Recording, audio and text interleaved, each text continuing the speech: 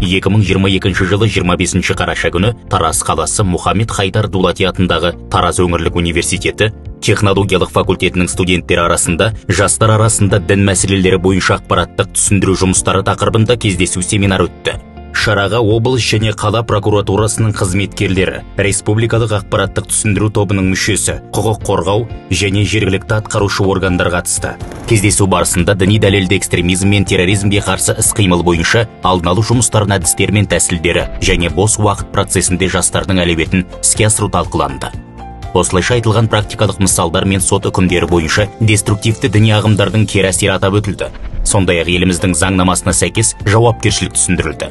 Іс шара пікірталас сипатында өтіп студенттермен қойылған сұрақтарға толығымен жауап берілді. Сонымен бірге теолог мамандар жастарға діни шиеленіс қоғам үшін қауіп төндіретін азаматтардың денсаулығына психикалық және әлеуметтік жағдайына нұқсан келтіретін мемлекеттің зайырлы қағидаттарына және дәстүрлі рухани құндылықтарға қарсы қоятын қазақстан үшін жат идеологияны таратушы деструктивті діни ағымдарға қарсы иммунитет қалыптастыру бағытында ақпараттық түсіндіру жұмыстарын жүргізді.